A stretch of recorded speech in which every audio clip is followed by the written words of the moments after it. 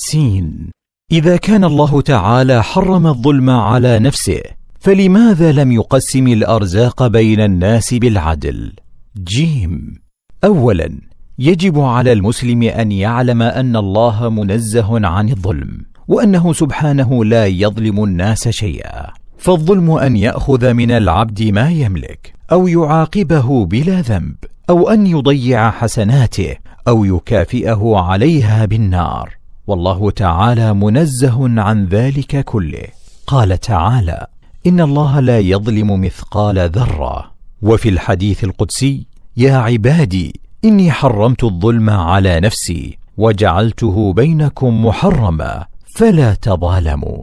فوا عجبا لهذا المخلوق الذي لا يساوي شيئا حين ينسى قدره ويستخفه الشيطان بفكره أن يخاصم من أنعم عليه بالحياة وأمده بالسمع والبصر وأفاض عليه من خزائنه في أفعاله وقدره أو حين يخطر بباله أن الله الكبير المتعال المتفضل عليه بكل شيء يظلمه.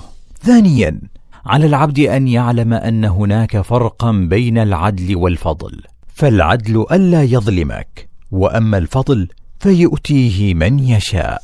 قال تعالى والله يختص برحمته من يشاء والله ذو الفضل العظيم. فالله سبحانه يرسل رسله وينزل كتبه ويبين أمره ونهيه. فمن شاء آمن ودخل الجنة ومن شاء كفر وكان مصيره النار. وهذا عدله وهو سبحانه يتفضل على من يشاء فيشرح صدره ويعينه على الهداية ويثبته على الحق وهذا فضله.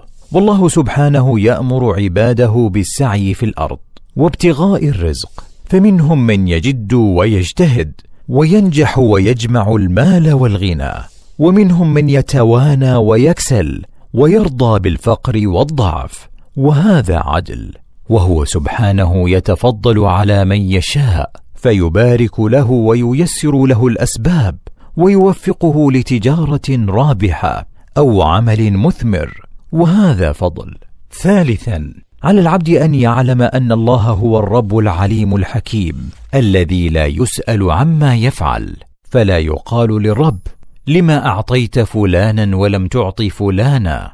ولا يقال للرب لم خلقت هذا جميلا وهذا دميما؟ ولو كان الرب يسأل لما كان فرق بين الرب والعبد.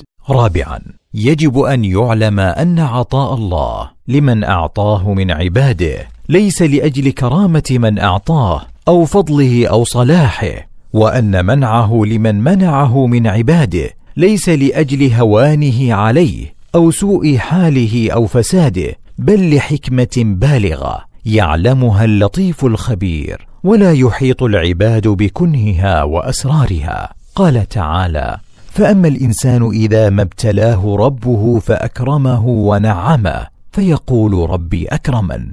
وأما إذا ما ابتلاه فقدر عليه رزقه فيقول ربي اهانا كلا أي ليس الأمر كما تقولون وتقدرون.